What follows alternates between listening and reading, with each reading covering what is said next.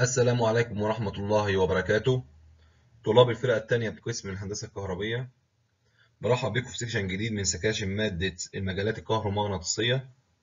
هنتكلم النهاردة على ال tutorial number 2 آه، ونشوف مع بعض المسائل. آه، نشوف مع بعض المسألة رقم واحد. المسألة دي بتناقش Coulomb's law والقانون بتاع ال electric field. المسألة دي مديني 2 point charges واحدة 1 ملي كولوم والتانية سالب 2 ملي كولوم موجودين في ال positions الموضحة ديت. 3 و2 وسالب 1 وسالب 1 وسالب 1 و4 ال Cartesian coordinate وعايز يحسب ال force المؤثرة نتيجة وجود الشحنتين دول على شحنة ثالثة مقدارها 10 نانو كولوم موجودة عند 0 3 و1 مطلوب إن أنا أحسب ال force وأحسب ال electric field في النقطة اللي هي 0 3 و1 فال solution إزاي إن أنا احل اولا قانون كولوم بيقول إن القوة ما بين شحنتين هي عبارة عن حاصل ضرب الشحنتين مقسوم على ثابت بيعتمد على الوسط. هنا الوسط هو الهواء فهو 4 pi epsilon naught في مربع المسافة ما بينهم. فالقوة بتتناسب طردي مع حاصل ضرب الشحنات وعكسي مع مربع المسافة ما بينهم. طب القوة اللي أنا هحسبها هي قوة متجهة وليست قوة آه مش scalar هي عبارة عن vector فأنا عايز أحسب القوة اتجاها. ليه؟ آه الجنرال أنت تحسب القوة متجهة. هنا مضطر إن أنا أحسبها متجهة لأسباب لأن أنا هحسب قوتين وهجيب المحصلة. فعشان أحسب المحصلة لازم أعرف كل قوة بمركباتها عشان لما أجي أحسب المحصلة أجمع المركبات المتناظرة. فتعالى نشوف مع بعض كده. أول حاجة نتيجة وجود الشحنة رقم واحد وتأثيرها على الشحنة رقم ثلاثة أنت عايز تعرف المسافة من واحد لثلاثة وعايز تعرف الاتجاه من واحد لثلاثة مبدئيا كده خلينا نتفق مع بعض إن دايما هفرض اتجاه الفورس في اتجاه التنافر. وبعدين هقول لك لو الشحنات متعاكسه في الإشارة إيه اللي هيحصل والتعديل هيحصل إزاي. بس أنت وأنت بتحل دايما افرض اتجاه الفورس في اتجاه التنافر. بغض النظر هل الشحنات متشابهة ولا غير متشابهة. فأنا عايز القوة من واحد على تلاتة يبقى الاتجاه من واحد لتلاتة يبقى أحسب المتجه واحد تلاتة هيبقى كام؟ تلاتة ناقص واحد فحسبت المتجه من واحد لتلاتة. هيبقى عبارة عن point تلاتة ناقص point واحد هيبقى صفر ناقص واحد بكام؟ صفر ناقص تلاتة هيديك سالب تلاتة i. تلاتة ناقص اتنين يديك j. واحد ناقص ناقص واحد يديك زائد اتنين k. وبعدين كده أنت عرفت المتجه من واحد لثلاثة. هحسب معياره لأن معياره هو عبارة عن المسافة من واحد لثلاثة ودي اللي هحتاجها في قانون كولوم اللي هي عبارة عن مربع المسافة ما بينهم. فاحسب معيار المتجه يبقى الجذر التربيعي لمركبة x تربيع زائد مركبة y تربيع زائد مركبة z تربيع. عايز أحسب اتجاه القوة. اتجاه القوة يعني معناها متجه الوحده لما أجيب مقدار القوة هضربه في متجه وحده متجه الوحده زي ما اتفقنا هو هيبقى متجه التنافر. التنافر يعني إيه؟ اللي هو المتجه واحد تلاتة مقسوم على معياره فيديني متجه الوحدة من 1 ل 3 طب إزاي بقى تحسب القوة من 1 ل 3 القوة من 1 ل 3 عبارة عن حاصل ضرب الشحنتين وتعوض عن كل شحنة بإشارتها. على 4 pi epsilon naught لو موجود في وسط تاني هيبقى في عندك epsilon r. epsilon naught هتحفظها 8.8542 في 10 أس minus 12 هتحفظها. مش هتقعدها في الامتحان. مربع المسافة ما بينهم أنت عارفها خلاص اللي هي المعيار. في متجه الوحدة. متجه الوحدة انت عارف مركباته. وإحنا عارفين إن متجه الوحدة هو متجه تنافر طب انت لما تقول إن الشحنات متشابهة. متشابهة يعني إيه؟ يعني الشحنة دي موجبة والشحنة دي موجبة أو الشحنة دي سالبه والشحنة دي سالبه هيبقى حاصل ضربهم في النهاية قيمة موجبة. قيمة موجبة لما تتضرب في متجه التنافر يبقى الاتجاه بتاع المتجه صح. يبقى خلاص متجه التنافر كده مظبوط. ليه؟ لأن الشحنات متشابهة، طب فرضا إن في شحنة موجبة وشحنة سالبة، هتعوض عن الشحنة دي بموجب وتعوض عن الشحنة دي بسالب، موجب في سالب يديك إشارة سالبة، السالب دي في النهاية تنضرب في الاتجاه وتعكس اتجاه التنافر إلى اتجاه التجاذب. فأنت وأنت بتحل عشان نتفق على أسلوب واحد للحل، دايماً افرض اتجاه القوة أو المتجه الوحدة اللي أنت هتحسبه اللي هضربه في مقدار القوة احسبه في اتجاه التنافر. بعد كده وأنت بتحسب القوة عوض عن الشحنات بإشارتها. في النهاية لما تضرب الشحنات في بعضها هتطلع لك إشارة لما تنضرب في متجه التنافر هيديك الاتجاه الصحيح.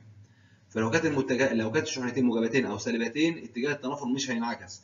لو كانت فيهم واحدة موجبة وواحدة سالبة زي الشحنات من اتنين الشحنات 2 و3 هنشوفها دلوقتي هتلاقي إن طلع معاك إشارة سالبة في النهاية بتنضرب في متجه التنافر تظبط الاتجاه وتخليه تجاذب خلاص حسبنا القوة وحسبنا مركباتها طلعت معايا رقم في 10 أس minus 3 نيوتن.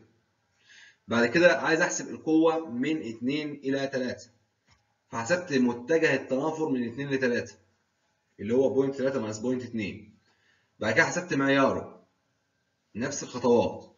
وبعد كده حسبت متجه الوحدة في اتجاه التنافر اللي هو عبارة عن متجه 2 3 على معيار متجه 2 3 بعد كده حسبت ال force. من 2 ل 3 عبارة عن حاصل ضرب الشحنتين وبعوض عن الشحنات بإشارتها. ادي السالب.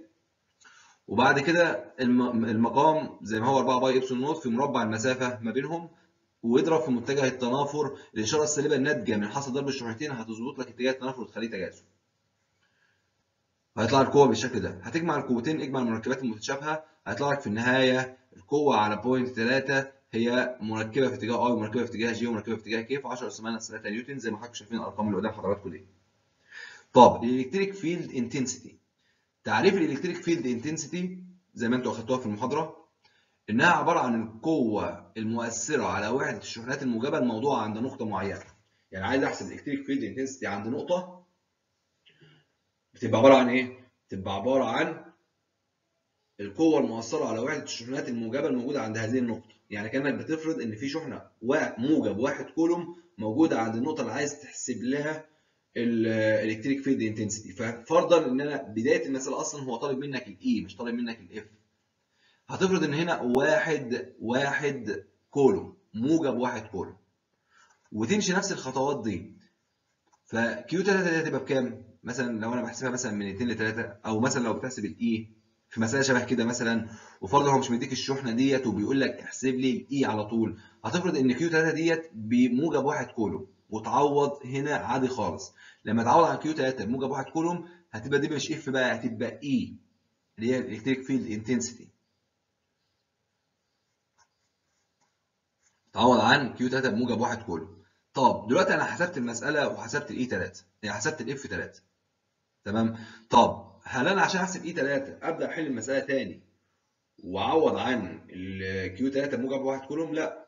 أنت كل الموضوع لو أنت قسمت ال F 3 على قيمة الشحنة Q 3 هتلاقي على طول هي electric field intensity ووحدتها نيوتن لكل آه كولوم. وحدتها نيوتن لكل كولوم.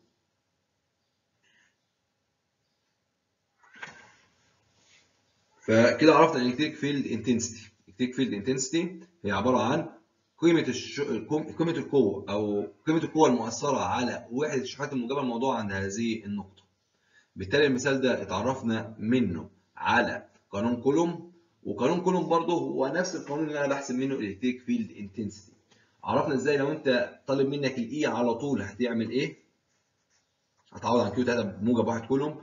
لو طالب منك ال F وال E احسب ال F ومن ال F تقدر تستنتج ال E نشوف مع بعض المسألة رقم 2 المسألة رقم 2 بيقول لي عندي 2 point charges of equal mass لهم نفس الكتلة M.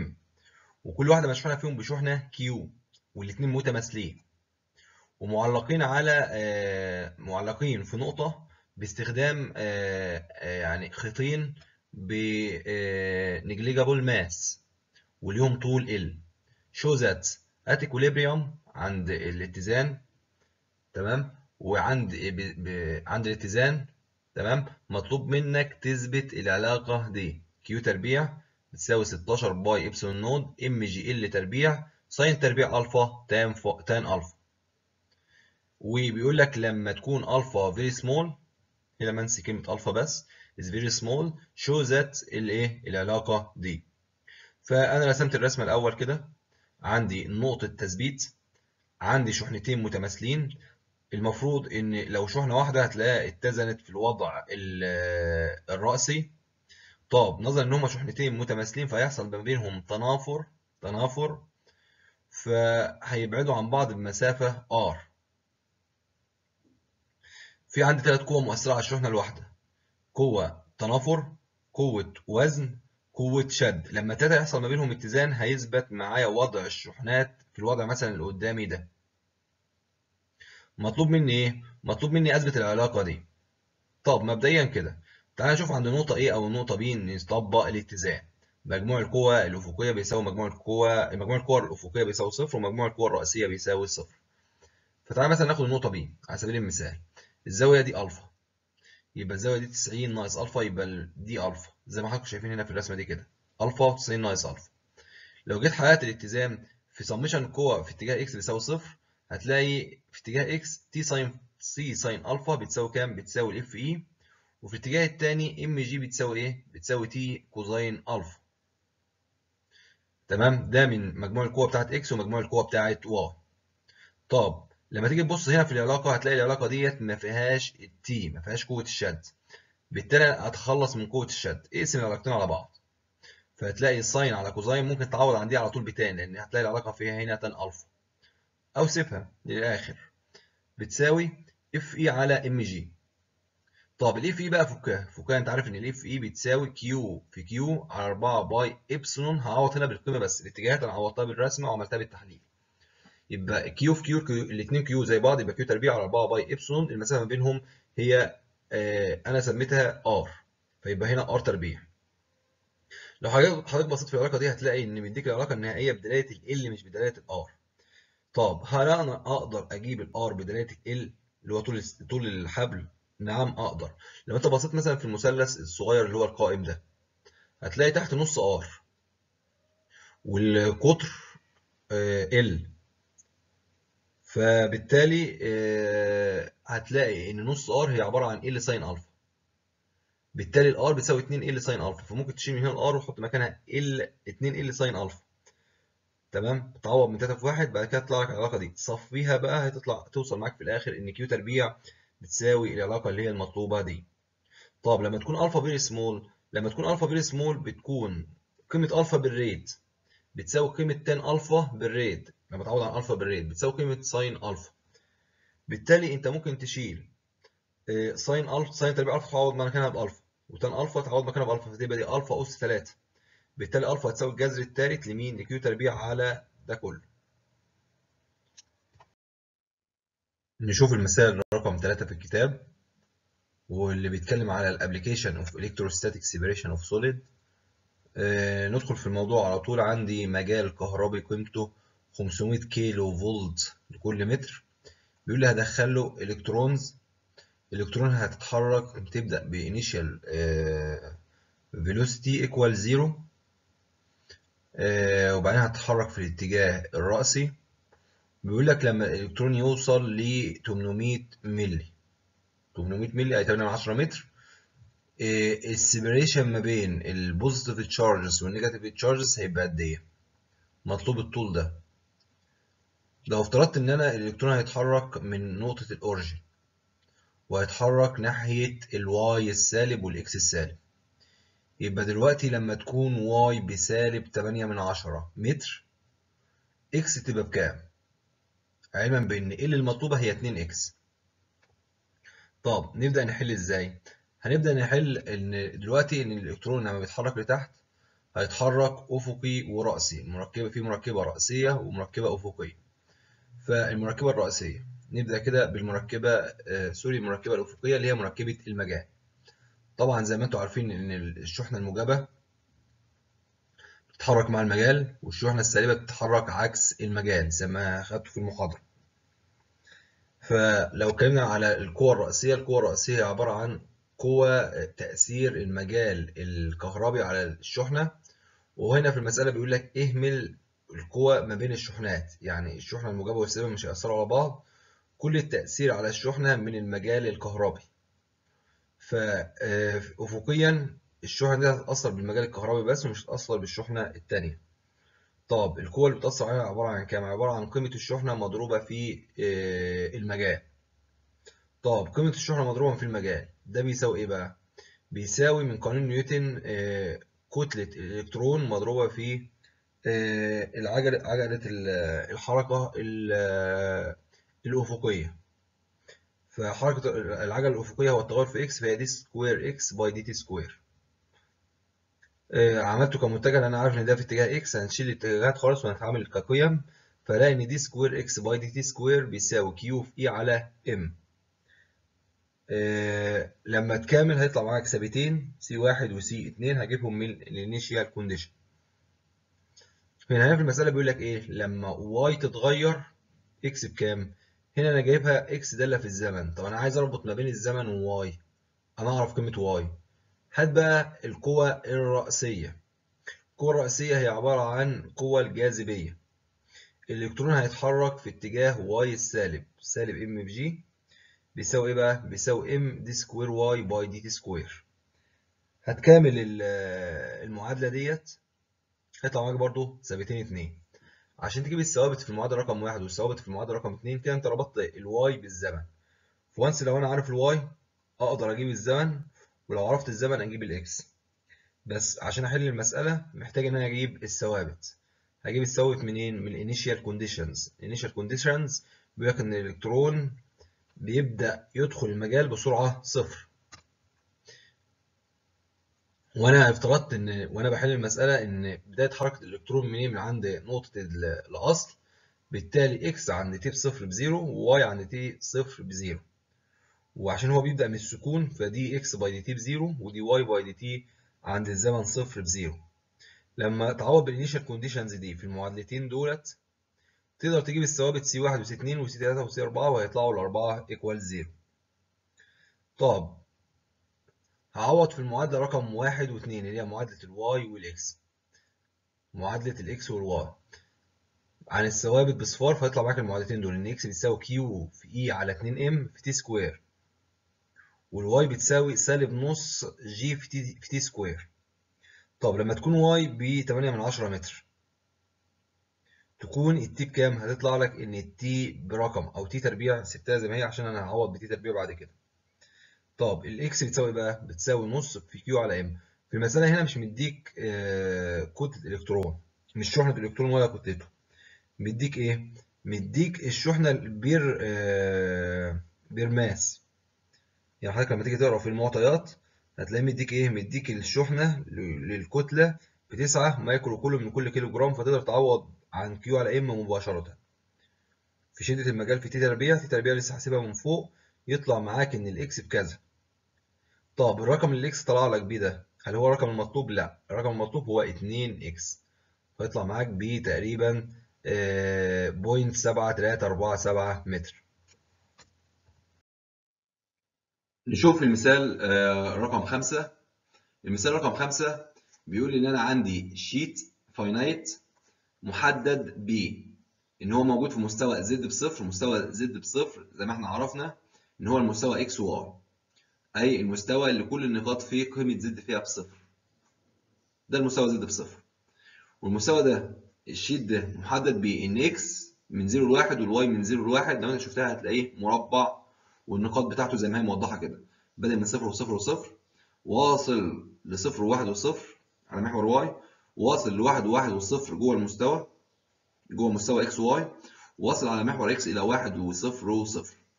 زي ما حضراتكم شايفين المستوى اللي أنا راسمه ده. مديك إيه بقى؟ مديك آه charge density. مديك كثافة شحنة. rho s تعتمد على ال x وال y. given بالنسبة لك بالشكل ده. إكس واي في قوس إكس تربيع زائد واي تربيع زائد 25 اس 3 على 2 أو الجذر التربيعي لكل اس 3 نانو كولوم لكل متر مربع. مطلوب منك إيه؟ مطلوب منك مبدئيا كده تحسب الشحنة الموجودة في هذا ال sheet. طب نشوف إزاي نحسب الشحنة بعدين نشوف المطالب التانية. مطلوب إنك تحسب الشحنة. هي الشحنة عبارة عن إيه؟ كثافة الشحنة آه السطحية. لو هي زي ما حضراتكم شايفين كده مدالك given دالة في x و y أو متغيرة مش ثابتة من نقطة لنقطة. لما تيجي تحسب منها الشحنة بتعمل عملية تكامل ثنائي لل rho s وتضرب في ال unit area element فأنا دلوقتي شغال فين؟ شغال في ال Cartesian coordinate ال area element بالنسبة لي هي مين؟ هي dx dy لأن أنا في المستوى x y مش في المستوى y z ولا المستوى إكس زد أنا شغال في المستوى اللي تحت ده. فأنت يا شباب هتجيب unit آه هتجيب area element في المستوى ده في ال sheet ده. وتضربها في كثافة الشحنة هتجيب مين؟ هتجيب ال dq لما تكملها تكامل ثنائي في اتجاه ال x واتجاه ال y هتحسب قيمة الشحنة الكلية. يبقى دلوقتي هتعوض عن ال rho s عوضت عنها x y اللي هو اللي مكتوب بالاسود اللي قدامكم قدام حضراتكم ده. هعمل تكامل ثنائي ال x بتتغير من صفر لواحد وال y بتتغير من صفر لواحد. أول حاجة هكمل بالنسبة ل x لما أكمل بالنسبة ل x هتلاقي إن عندك قوس x تربيع زائد y تربيع زائد 25 اس 3 على 2 القوس ده مضروب في التفاضل بتاعه بالنسبة لاكس التفاضل بتاعه هو إكس عشان تخليها التفاضل بتاعتها التفاضل بتاع القوس ده لو انت جيت تفاضله بالنسبة لإكس هتلاقيه 2 إكس. فأنت عشان تكمل محتاج بره 2 إكس هتلاقي الإكس موجوده فاضرب في 2 ويقسم على 2 زي ما حضراتكم عارفين في التكامل. يبقى 2 x ومعايا دالة مضروبة في تفاضلها بترفع أس الدالة واحد وتقسم على أس الجديد. زي ما حضراتكم شايفين رفعت أس واحد على 5 على 2 وضربت الأس الجديد اللي هو 2 على 5 ومعايا النص اللي أنا حاططهم الأول. وبعدين عوضت عن حدود x من صفر لواحد طلعت معايا المعادلة اللي قدام حضراتكم دي. دالة في y هتلاقيها في الآخر بتتقسم لتكاملين اتنين زي ما حضراتكم شايفين كده وكل تكامل مضروب في التفاضل بتاعه بعد ما تضرب في 2 وتقسم على إيه؟ على 2 فلما تيجي تكملها هترفع الأس واحد هيبقى 7 على 2 وتقسم على الأس الجديد زي ما حضراتكم شايفين كده وتعوض بحدود التكامل هتطلع معاك في في النهاية ال Q بكام؟ بالرقم اللي حضراتكم شايفينه ده 33.1469 نانو كولوم لأن كثافه الشحنه مديلك بالنانو كولوم لكل متر مربع فانت أكيد الناتج هيطلع معاك بالايه؟ بالنانو كولوم أو تقول في 10 اس 9 كولوم. تاني مطلوب طالب منك تحسب ال electric field اللي هي تحسب ال E اللي هي القوة المؤثرة على وحدة الشحنات الموجبة الموجودة فين بقى؟ عند النقطة 0 و0 و5. ادي النقطة 0 و0 و5. لما تيجي تحسب ال E ال E زي ما أنتم حضراتكم عارفين القانون بتاعها إنها عبارة عن ال Q على 4 pi epsilon nought في مربع المسافة في متجه التنافر وتعوض عن الشحنه بإشارتها. طب القوه كنت بتقول Q في Q، ال Q الثانية قيمتها كام؟ قيمتها موجب 1 كولوم فأنت ما بتحطهاش هنا. زي ما حضراتكم شايفين كده. يبقى دي طب لو أنا دلوقتي عندي هنا الشحنه بتتغير من نقطة لنقطة. الشحنه بتتغير من نقطة لنقطة. عايز تحسب دي ما أقدرش أحسب دي مباشرة. احسب بقى ال dE. ال dE هتساوي ال dq على 4 pi epsilon nought في ال R square. مضروبة في متجه متجه التنافر. حيث الدي كيو دي بقى بتساوي إيه؟ بتساوي ال rho s ال rho s في ال ds. فأنا هاخد area element زي ما حضراتكم شايفين اللي هي النقطة ديت. دي عبارة عن dx في dy. يعني ال ds دي عبارة عن dx في dy. لو أنت ضربتها في ال rho s هتجيب ال dq زي ما حضراتكم شايفين كده على 4 pi epsilon nought. R square هي مربع المسافة من النقطة اللي انت الاعتبارية اللي انت أخدتها جوه المستوى ديت واللي بعدها هتكامل بعد ما تختارها لغاية النقطة اللي هي 005 واتجاه الإيه؟ هو اتجاه التنافر زي ما اتفقنا. وإشارة الشحنة هي اللي هتظبط الاتجاه. يبقى تمام كده.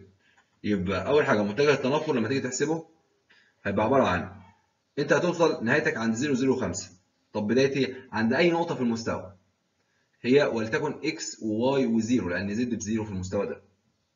على معيار المتجه ده معيار المتجه ده هو الجذر التربيعي كام بقى؟ المتجه ده اولا هيطلع بسالب x في اتجاه i سالب y في اتجاه j زائد 5 في اتجاه k على الجذر التربيعي x تربيع زائد y تربيع زائد 25 زائد ده زائد زائد 5 في اتجاه k وده هيبقى 25 زي ما حضراتكم شايفين كده ده متجه الوحدة في اتجاه التنافر. من المستوى من أي نقطة موجودة في المستوى اللي هو محدد ب x من 0 ل 1 و y من 0 ل 1 و z ب zero حسبناه. طب يبقى دي بتساوي إيه؟ بتساوي تكامل ال dE فهيبقى في عندي تكامل ثنائي لأن أنا عندي شغال دلوقتي بالكثافة سطحية. وعندي بعدين بيتغيروا هما ال x وال y فعملت تكامل ثنائي من x من 0 ل 1 و y من 0 ل 1 ل rho s dx dy على 4 pi epsilon في R square في متجه التنافر. طب ال R square لو أنا ما أنا جيت أحل لقيت نفسي لسه ما حسبتهاش فأنت محتاج تحسبها. ال R هي عبارة عن إيه؟ عبارة عن معيار المتجه الواصل من أي نقطة في المستوى ده إلى النقطه 005. المتجه ده زي ما حضرتك شايفين هو المستنتج فوق اللي هو ده أصلا. ده متجه التنافر اللي هو سالب x في اتجاه i زائد y في اتجاه j زائد 5 في اتجاه k. معياره بقى هو جذر تربيع x تربيع زائد y تربيع زائد 25. القيمة دي هي القيمه اللي هعوض بيها هنا. ده معيار المتجه هتعوض بتربيعه هنا. زي ما حضراتكم شايفين كده عوضت بتربيعه. آه، عوضت عن ال rho s بقيمتها اللي هي x y في القوس ده أس 3 على 2 وعوضت عن متجه التنافر زي متجه الوحدة في اتجاه التنافر زي ما حضراتكم شايفين كده. هتلاقي إن القوس اللي هو x تربيع زائد y تربيع زائد 25 أس 3 على 2 تحت في عندي قوس أس 1 وقوس أس نص. ده يديني أس 3 على 2 ده كله هيروح مع القوس اللي فوق. فهيتصفى التكامل لتكامل بسيط زي ما حضراتكم شايفين كده. تكامل آه، ثنائي لسالب x تربيع y على 4 pi epsilon naught. ده يعتبر تكامل بسيط جدا. يعني هتكامل x تربيع وتكامل ال y زي ما حضراتكم شايفين كده. هتكامل ال x طبعا القيمة دي في اتجاه i وفي عندك قيمة في اتجاه j هتكامل x y تربيع. هتلاقي إن ده تقريبا التكامل ده هو نفسه التكامل ده مع اختلاف مين المتغير وهيديك نفس الناتج. والقيمة دي في اتجاه ال k dx dy. فممكن هنا تقدر تفصل المتغيرات لانهم مضروبين في بعض. فقدرت افصل متغير إكس ومتغير واي قدرت افصل متغير إكس ومتغير واي قدرت افصل متغير إكس ومتغير واي. وبعدين قدرت احسب ال E بمركباتها. معيار معايا القيمة اللي بره دي sorry القيمة اللي هي 8.9876 مضروبة في متجه. ضربت القيمة دي في المتجه طلع معايا ال E في النهاية بالارقام اللي قدام حضراتكم دي. والأرقام دي أنا عوضت آه، في النص. طبعا كثافة الشحنه كان مديلك بال nano coulomb. وأنا بعوض رحت ضارب في 10 أس minus 9 عشان احولها لمين؟ للكولوم فطلع الناتج معايا في النهاية هو فولت كل متر. فأنا دلوقتي عرفت وحدتين لل E من المثال السابق اللي هو المثال رقم واحد عرفت إن الإيش ال- الوحدة بتاعتها عبارة عن إيه؟ عبارة عن نيوتن لكل كولوم طب في هنا وحدتها إيه؟ فولت لكل متر والوحدتين واحد. الوحدتين دول هم الوحدات بتاعت ال electric field intensity once انك عرفت ال E؟ لو عايز تحسب بقى ال force المؤثره على الشحنة الموجودة قال لي في شحنة موجودة قيمتها سالب 1 milli coulomb موجودة عند هذه النقطة. لو انت عايز تحسب ال force ال force عبارة عن قيمة الشحنة بإشارتها مضروبة في متجه ال electric field intensity فخدت الشحنة سالب 1 في 10 minus 3 ضربتها في المتجه ده. طبعا أنا كنت متجه ال E بيأمن باتجاه التنافر زي ما حضرتك- زي ما حضراتكم مت- زي ما حضراتكم عارفين. لما الشحنة لما تبقى بالسالب هيبقى متجه التنافر هيتقلب إلى متجه آه، تجاذب زي ما حضراتكم شايفين كده ضربت طلع في النهاية ال F عندي بكام؟ بالارقام اللي قدام حضراتكم دي. نشوف مع بعض المثال الأخير. المثال الأخير آه، بيناقش ال electric field intensity عند نقطة نتيجة وجود سطح لا متناهي مشحون. والإثبات بتاعه أنتوا أخدتوه في المحاضرة إثبات القانون بتاعه. وبرضه ال electric field intensity نتيجة خط مستقيم لا نهائي مشحون. وحضراتكم حضراتكم برضه أخدتوا ال- الإثبات بتاعه في المحاضرة. طبعا لو الخط المستقيم ما عادش لا نهائي والسطح ما عادش لا نهائي زي المثال السابق المثال السابق كنا بنحل على سطح غير متناهي. آه، سطح متناهي sorry. سطح متناهي. كان infinite كان finite sheet كان سطح متناهي. فسطح متناهي انت بتضطر انك تكامل وتمشي خطوات الإثبات اللي انت عملتها في الإثبات الأصلي. إنما لما يبقى عندك سطح متناهي زي المثال ده كده أو خط مستقيم متناهي انت عندك قانون موجود في الكتاب انت مستنتجه وممكن تعوض بيه مباشرة. فانت لو عندك سطح نهائي مشحون لا نهائي sorry. سطح لا نهائي مشحون فقيمة ال electric field intensity عند أي نقطة خارج هذا السطح بتبقى عبارة عن كثافة الشحنة السطحية مقسومة على 2 في epsilon naught. وهتلاحظ إنها لا تعتمد على المسافة. طب لو عندك خط مستقيم غير متناهي الطول وعايز تحسب ال electric field intensity عند نقطة مجاورة ليه؟ فهي عبارة عن كثافة الشحنة السطحية مقسومة على كثافة الشحنة الطولية sorry كثافة الشحنة الطولية مقسومة على 2 pi epsilon naught في r. r هو أقصر مسافة من الخط المستقيم إلى هذه النقطة. أي المسافة العمودية من الخط المستقيم إلى هذه النقطة. تيجي بقى نحل. فهو مديني مستويين.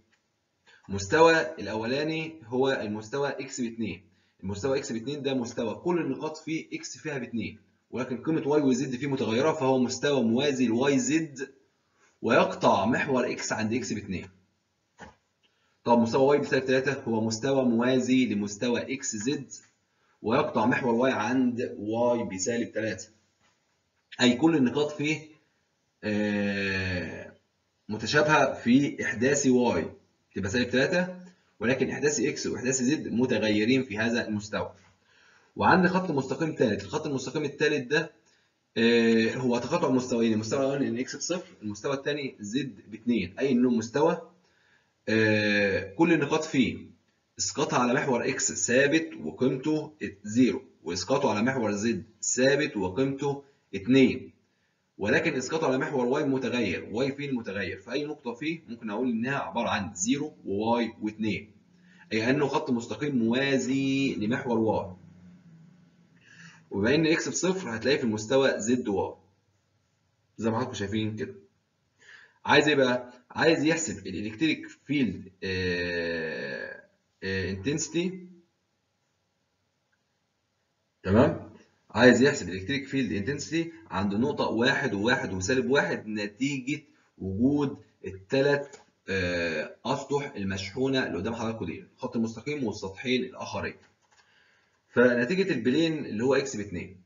القانون بتاع ال plane اللي هو infinite sheet أو infinite سطح غير متناهي آه، عارفين إن هو ال rho S آه، على 2 epsilon naught. طب ال rho S given المستوى X مديك كثافة الشحنة فيه بكام 10 nano coulomb لكل متر مربع.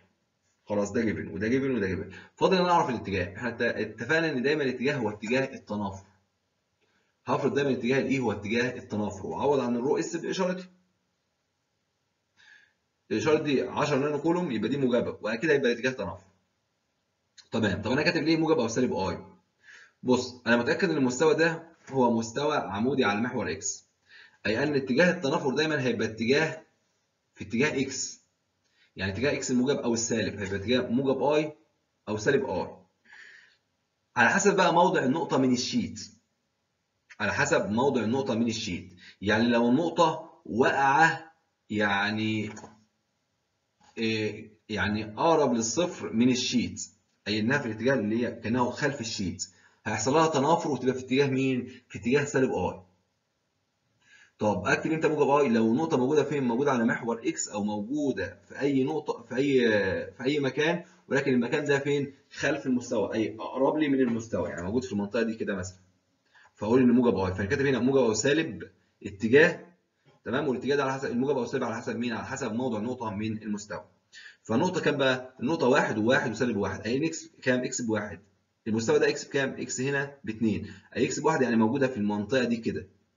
موجودة خلف المستوى ورا المستوى. يبقى الاتجاه بتاعها إيه؟ هو اتجاه التنافر اتجاه سالب i عشان كده عوضت في الآخر إنها بسالب i تعال نشوف ناحية ال Y كده. ال Y قانون خلاص. rho S بتاع المستوى Y مقسوم على 2 epsilon naught. ال- المستوى Y مديك 15 nano coulomb لكل متر مربع. وال epsilon naught محفوظة. طب أول موجب ولا سالب j نشوف موضع النقطة من المستوى. المستوى ده كام سالب 3 طب النقطة واقعة عند Y بكام؟ Y بواحد. يعني موجودة هنا. اتجاه التنافر هيبقى اتجاه مين؟ هيبقى اتجاه موجب j خلاص إحنا كده استنتجنا electric field intensity نتيجة المستوى X ب 2 وال electric field intensity نتيجة Y بسالب 3 فاضل بقى إن أنا أحسب ال electric field intensity نتيجة الخط اللي هو إكس بصفر وواي واي وزد بكام؟ وزد ب 2 فاحنا عارفين القانون اللي هو عبارة عن ال rho L مقسوم على 2 pi epsilon naught في R وال rho L given بالنسبة لي 10 pi آه، nano coulomb لكل متر مربع. فاضل إن أنا أحسب الطول. الطول هو أقصر مسافة من الخط المستقيم ده إلى النقطة اللي هي واحد وواحد وسالب واحد. أنا رسمت النقطة اللي هي واحد واحد وسالب واحد مشيت مع X واحد و Y مع واحد ومشيت مع في اتجاه Z سالب واحد في اتجاه السالب مشيت واحد. أدي النقطة. الخط المستقيم أقرب مسافة لما تيجي تقول أقرب مسافة أو المسافة العمودية أكيد هتبقى المسافة ما بين النقطة ده أهي. ونقطة واقعة على هذا الخط وقيمة Y فيها بكام؟ قيمة Y فيها بواحد. عشان تبقى أقرب نقطة. طب وإحنا عارفين إن الخط المستقيم ده كل النقاط فيه إكس بصفر وزد بكام؟ وزد باتنين. و Y فيها هتبقى بواحد واخترت كلمه Y بواحد دي لأنها هتمثل النقطة أقرب نقطة للنقطة اللي هي واحد وواحد وسالب واحد. عشان يبقى إيه؟ المسافة العمودية ما بينهم. خلاص يبقى أنت معاك متجه اللي هو واحد وواحد وسالب واحد. النقطة ديت وعندك نقطة على الخط المستقيم 0 و1 و2 احسب اتجاه التنافر. اتجاه التنافر هيبقى عبارة عن النقطة دي ناقص النقطة دي. أهو النقطة دي ناقص النقطة دي. طلع معاك ده اتجاه التنافر. لما تيجي تحسب معيار آه وطبعا اتجاه التنافر آه آه، الاتجاه اللي أنا حسبته ده سوري ده المتجه ده المتجه. المتجه من النقطة الواقعه على الخط المستقيم اللي أقرب نقطة لنقطة واحد واحد وسالب واحد لغاية ما توصل لنقطة واحد واحد وسالب واحد. يبقى ده المتجه. المتجه ده لما تيجي تحسب له معياره هيديك الطول اللي هو كام؟ الطول اللي هو R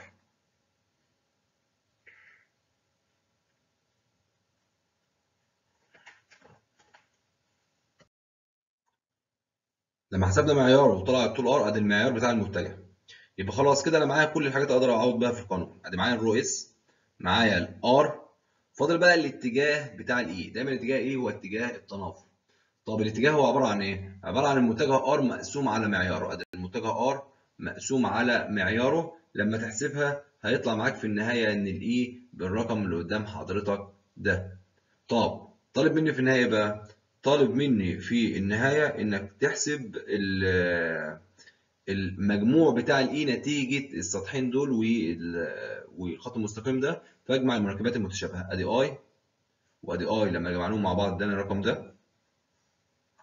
وعندك J J هتلاقي مفيش مركبة تانية J حطيتها زي ما هي.